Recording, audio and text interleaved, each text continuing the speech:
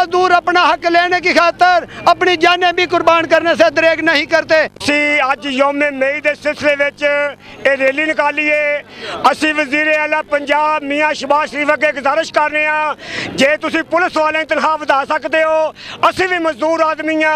ਅਸੀਂ ਵੀ ਤੁਹਾਡੇ ਮੁਲਾਜ਼ਮ ਆ ਸਾਡੀ ਵੀ ਤਨਖਾਹ ਵਧਣੀ ਚਾਹੀਦੀ ਏ ਕਾਮੋਕਿਆਂ ਦੇ ਵਿੱਚ